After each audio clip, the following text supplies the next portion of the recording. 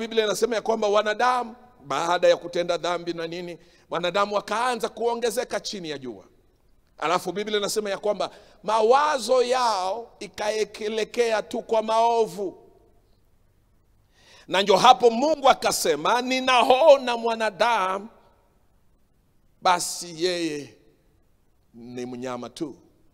Kwa sababu nafsi yake inaelekea tu kwa maovu na biblia inasema ya kwamba akasema ninajuta kwa nini niliumba mwanadamu. Kwa mara ya kwanza unaona sasa inaonyesha ya kwamba baada ya muda akaona kasoro mahali maana yake hakuridhika katika kile kilikuwa kinaendelea. Na ndio maana unakuta ya kwamba alipokuwa hakuridhika akatunga mpango mwingine. Ndio maana hata leo tunazungumza kuhusu yesu kristo kwa nini? Kwa sababu mwanadamu ya kwanza alimuumba na akafanya mipango yake akampa mwili. Akaja kugundua ya kwamba mwili huo ukaingiza mwanadamu katika mtego. Ile adui wa mwanadamu aliweka mbele yake na mwanadamu akamsaliti. So mungu akaamua sasa basi nitafanya nyingine mpya.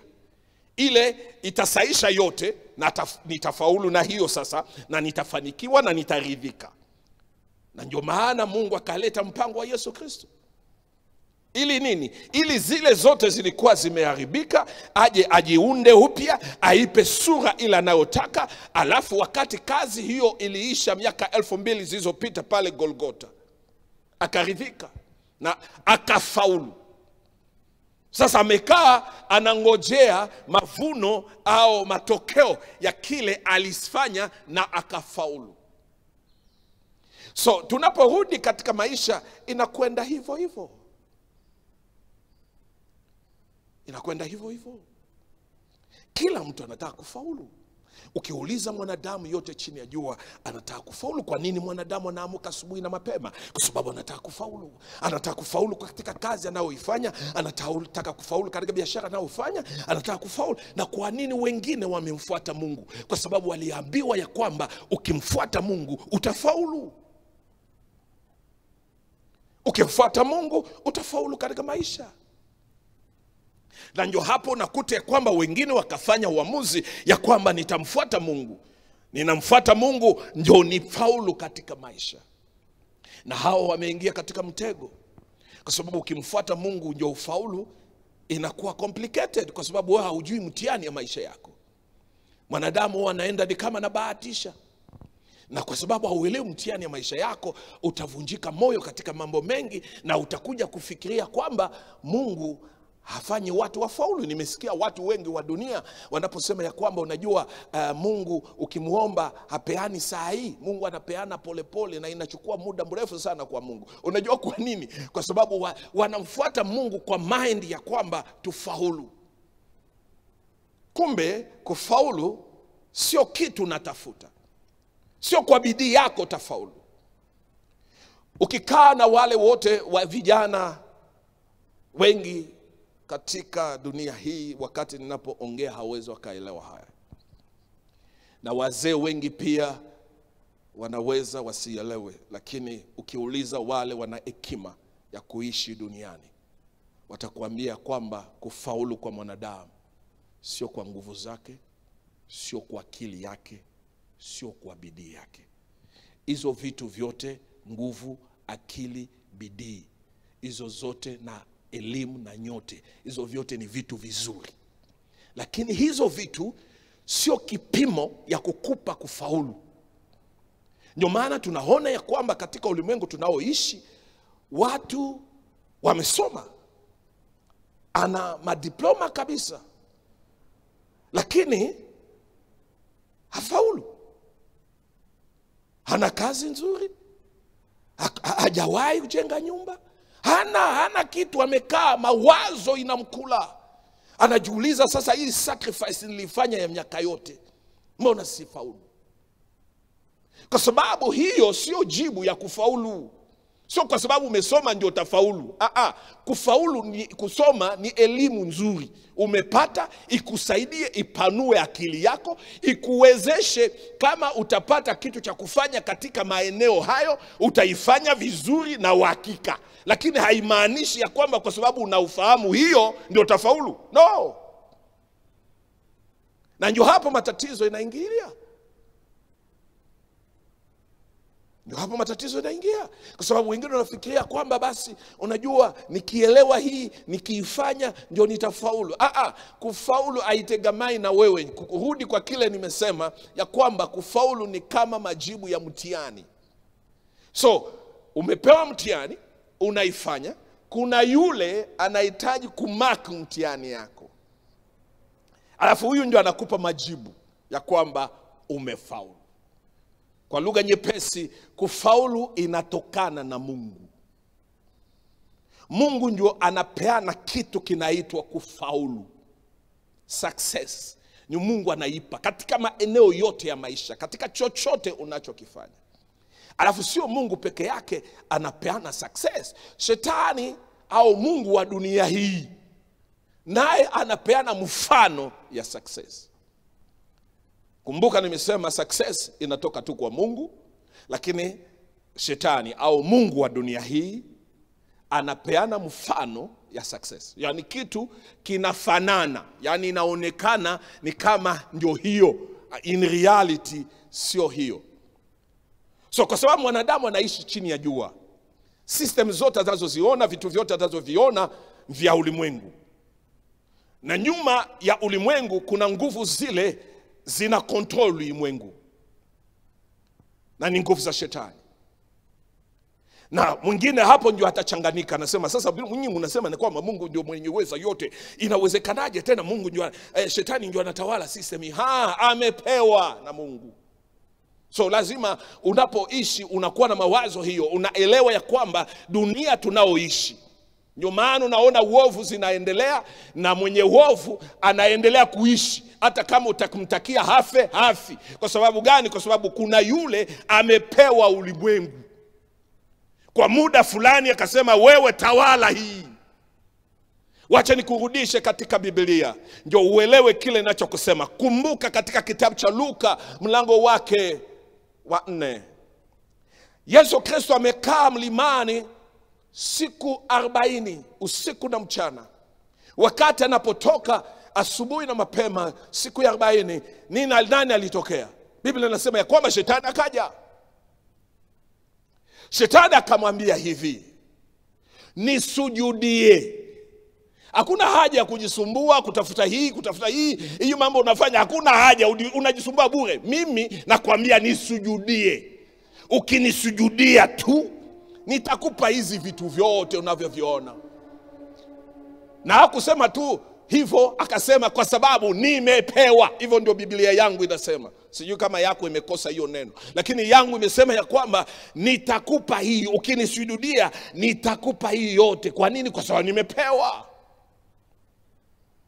Maana yake amepewa, na ndio maana alimpandisha Yesu kwenye mlima akamwonyesha, angalia hizi zote nimepewa mimi mimi ndio nimepewa hii.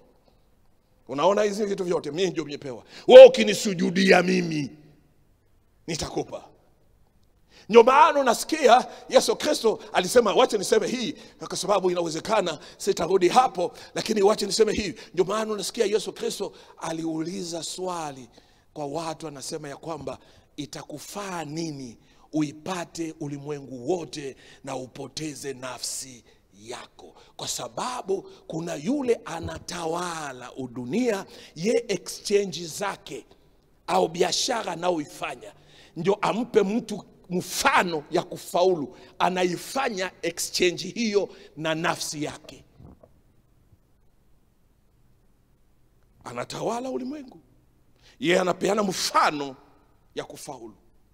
Ndio maana unakuta wengi wanakwenda kumsujudia leo leo leo kama success ingekuwa tu kitu kile unafanya kwa bidii ya kazi yako, hatungekuwa na madevil worshiper, hatungekuwa nao. hatungekuwa na zile pole sana kwa kuisema lakini ilibidi niiseme. Hatungekuwa na zile vikundi unasikia kama illuminatis sijui sijui nini. Hizo hizi zote vikundi vikundi hatungekuwa nazo. Kwa nini? Kwa sababu shetani anapeana mfano. Alafu wacha nikwambie kitu kitakushangaza. Shetani ana apeana hasa kitu kwa sababu hana. Shetani ye anaendaka kuchukua tu ile imeshatengenezwa we, we jaribu kuangalia mtu yule nikupe mfano wazi. Utaona mwanaume ameangaika na masomo. Amesoma amesoma primary amesoma secondary ameingiwa university afu wakati anapotaka kumaliza university ndio wanakuja wanamwambia kwamba inabidi ujwen uh, hii kalti yetu. Sitaki kutaja majina inaweza ikaleta matatizo. Ndio hivyo kwa sababu ukitaja majina wanaweza kakushtaki wana proof. Na utajikuta ndani. Anyway sasa anasema ingia kwa hii kalti yetu yaani ushirika wetu unajua utapeta akili utapata uwezo wa kutawala na unajua lazima ufanye ibada namna hii uh, tutoe sacrifice tufanye hivi na hivi. Inashangaza inashangaza kwa nini shetani hakuja wakati ulikuwa bebi akuchukue akusomeshe. Shetani aseme mi ndio nitakusomesha nitakupa akili kumbe akili wewe unatumia sio shetani alikupa ni mungu alikupa. Lakini yeye akiona ya kwamba wewe una akili sana ndio anakuja.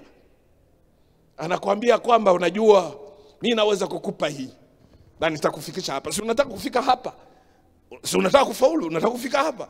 Mi naweza kukufikisha. Na mwanadamu jinsi akili yake ni ndogo. Hiyo ndio inafaa. Akili yake ni ndogo atafikiria kwamba okay kwa sababu nimejaribu ninaona siendi na yeye amenipropose. Nikimjwen nikimsujudia nikimwabudu atafanikisha hizi mambo wache niende. Kumbe haelewi ya kwamba katika mambo ya mwili na mambo ya roho kuna kuwaka na exchange. Yani biashara iko biashara iko. Na hata wakati unafanya hivi unasikia hii ni business tunafanya hii ni biashara. Lakini si biashara jinsi dunia inaitafsiri. Kwa sababu katika mambo yote exchange inafanyika. E, biashara ni nini? Si ni exchange tu. Ndio maana ya biashara ni exchange. Na katika masuala ya roho kuna hiyo exchange. Ndio biashara ile. So hii tunafanya ni biashara hii lakini sio jinsi dunia inatafsiri. Ya kwamba sisi tunataka nafsi zetu tuipeane kwa mungu afu mungu atupe uzima wa milele. Ndio exchange inafanyika. Na shetani pia ako katika kampeni hiyo. Ya kwamba kwa, chini, kwa sababu ya nafsi zako ukitoa nafsi zako na yeye anakupa kile mfano ya kile ulikuwa unataka. Kwa sababu ni reality yeye ana kitu. Hajawahi umba chochote chochote anaweza akakupa ni mfano ya kile unachokiona. Kwa sababu ana uwezo ya kufanya kitu kionekane kana kwamba kiko. Kumbe hakiko halisi. Ndio maana paulo anasema ya kwamba amjui ya kwamba shetani anaweza kajigeuza kufanyika malaika wa nuru maana yake anaweza kachukua picture ile ya malaika msafi wa mungu.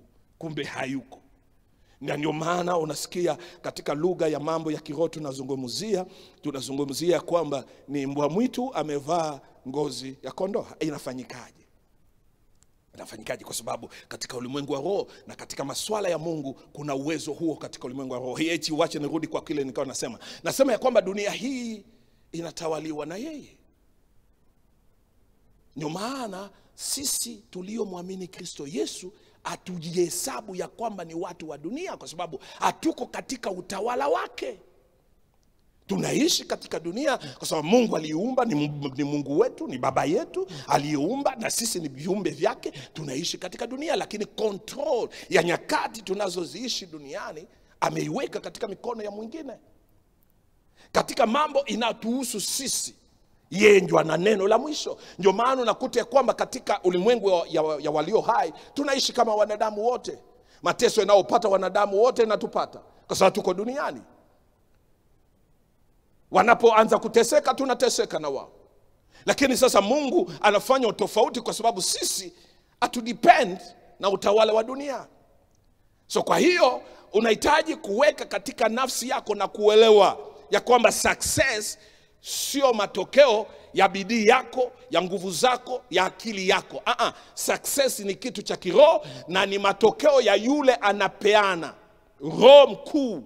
Sisi tunamwita mungu. Ya kwamba yeye ndio anapeana majibu hayo. Ndio anafanikisha. Katika chochote unatamani kufanya. Na unajua iko simple mwingine anasema ndio umesema sana. Lakini mi nitafanya nini ni faulu katika chochote ninachokufanya unajua nikichukua muda nifafanue hatua hadi hatua nyingine ya maisha ya mwanadamu tuna vipengele vingi sana vya maisha vile tunahitaji kuvifaulu. Jinsi nilianza nikisema ya kwamba una uwezo ukafaulu kupata hela lakini haujafaulu kuwa na familia maana yake umefaulu kuwa tajiri lakini haujafaulu kuwa na familia. Na, na kwa sababu haujafaulu kuwa na familia bado ita affect maisha yako. Watu wataona ni kama unafurahi uko na kila kitu lakini in reality moyoni unalia. Ukiona mwingine anapita na mke wake na watoto huo unaumia. Inaku, inaku, inakuuma. Unajiuliza sasa hao walifanyaje mpaka wakaanza kutembea hivyo kumbe wewe umefaulu kupata hela lakini hii haujafaulu. Na sisi tuliopo ndani ya kristo hatuhitaji kufaulu tu kwa moja. Ndio maana tunamhubiri yesu kristo. Ndio tufaulu katika zote na ni process. So zote hazitokei ghafla ufaulu. No zinakwenda process siku moja baada ya nyingine. Ndio maana uh, tunasema ya kwamba maisha ni vita vya kiroho. Kwa nini? Kwa sababu unapiga katika viwango vi tofauti. Tofauti maana yake unatafuta majibu ya amani katika viwango tofauti tofauti. Ndio hivyo tena kwenda. Sasa inapokwenda namna hiyo ya kwamba kufaulu haiko katika maeneo moja ni maeneo yote ya maisha na yule anapeana uwezo ya kufaulu ni mungu. Kama sio mungu angekuwa amepeana kufaulu basi nataka nikuambie wale wote waliingia university siku ya leo wangekuwa mamaltimilionea na wale wote wameparticipate kwa conference ya biashara wangekuwa wafanyabiashara wote wakubwa. Kwa sababu kule watakupa seven keys of prosperity. How to make your business prosper watakueleza hatua hizo zote jinsi utafanya biashara yako ipospa, lakini ukienda kwa reality unakoniwa na hiyo hela. Mpaka unashangaa inakwenda namna gani? Ya, ya, yani ndio hivyo. Na unapoingia katika reality utakuta ya kwamba wengi waliofaulu katika njia huo unaenda saa zingine wengine ni wajanja. Walifaulu hawakufaulu mtihani. Walishindwa mtihani na ndio hivyo inasumbua katika maisha ya watu. Na, na, na unajua wengi wengi hata wakati ninapoongea hivi wanajua ya kwamba wameshinda mtihani yani hawajafaulu. Tuko na watu leo unaona hii lockdown kwa wengine ni punishment kubwa sana. Ya kwamba ameambiwa akae pamoja na familia yake. Kumbe wakati hakukokuwa na lockdown alikuwa better off. Kwa sababu anatoka asubuhi hata kama ana shughuli atarudi usiku. Yaani stress ya kukaa nyumbani hata ipata na unajua tumeumbwa tofauti tuna viumbe tunavipenda sana kama wanaume wakina dada lakini mpendwa kukaa na dada kuanzia asubuhi mpaka jioni kesho yake. Mpendwa unahitaji neema. Hapo ndio unahitaji pia kufaulu. Kwa sababu mu, kila mtu mko wawili kila mtu anawaza yake. Yaani na akiwaza sisi kwanza wanaume na nasema wanaume kwa sababu unajua tuna wanaume na wanaume. Kuna, kuna wengine wamevaa troza tu lakini sio wanaume. Anyway kun, sisi wanaume ikikuja kwa kichwa ingie kwa roho alafu una digest kwanza kabla hujaamua kabla hujasema. Lakini wadada sio hivyo. Wadada ikiingia tu kwa roho pa imetoka kwa kinywa. So lazima sasa uwe na capacity ya kuhandle zingine. Kwa sababu una uwezo ukakaa hivyo muko broke kabisa hamna hela. Hakuna kitu. Na anajua hivyo. Lakini nimemjia kwa kichwa. Sufuria aliona lazima anunue na nakwam, a, unajua eh, kuna sufuria ingine niliona. Eh, nzuri sana. Ile ile chakula hai- hai- hai- hai- haiungui. Sasa wewe unajaribu kujiuliza hapa tunafikiria lockdown. Mambo jinsi navyokwenda sasa na anajua tuko broke. Sasa anakuja na mambo ya sufuria namna gani? So lazima ujue jinsi ya kujibu. Kwa sababu hajakosea. Hivyo ndio alivyo. Sasa ukijibu vibaya unaleta ugomvi so lazima uwe na capacity ya kuichukua jinsi imekuja alafu kuiweka chini alafu kuinyoosha. Sasa okay sawa. Eh, uliona wapi? Unaingia kwanza kwa stori yake. Ndio aijisikia ametiwa moyo. Eh, uliona wapi? Eh, iko iko eh, imetoka iko rangi fulani. Eh, unaingia kwa stori yake alafu unamtoa polepole. Unamwambia anyway ni nzuri lakini kwa saa hii na anajua mko broke na ulimwambia mko broke lakini atakuja na hitaji lake. Na mpaka umwambie sasa kwa saa hii hali sio sawa. Ngoja tungoje na lazi, wengine pia akitaka lazima apate saa hiyo. So lazima uwe wanadamu tofauti